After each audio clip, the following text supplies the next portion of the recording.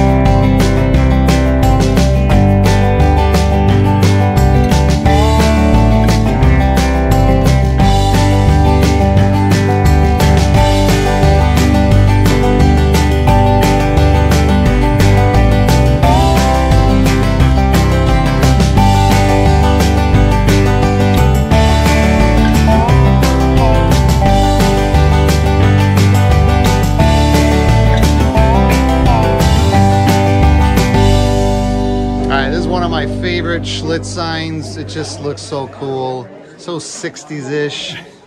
Yeah, I love it.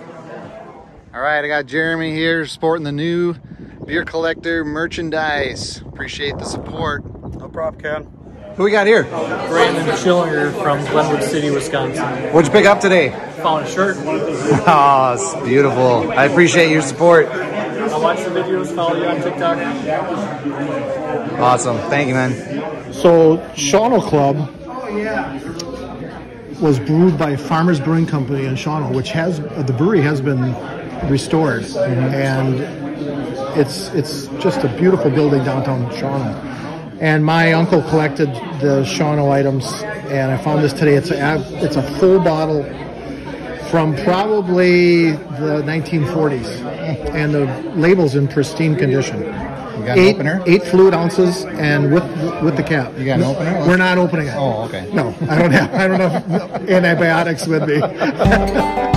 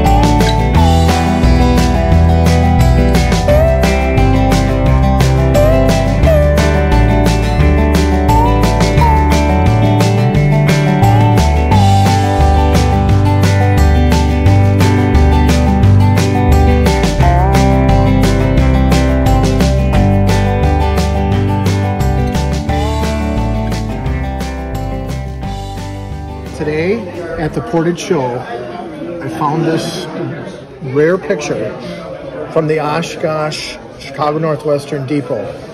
And as you can see, it must have been a tele- telegraph wires because they ran them along the railroads. They didn't really have highways back then, so they ran the telegraph poles along the railroads because this was the main mode of, of uh, transportation was with on the train. And you could see all the people getting picked up in the limousines, driven by horses.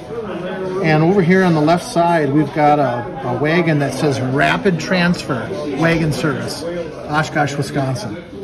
So this train, uh, steam engine driven train from Chicago, would probably come to Oshkosh on a daily basis. who knows how long it took back then. But this is really a neat photo. I've never seen it in my life. So.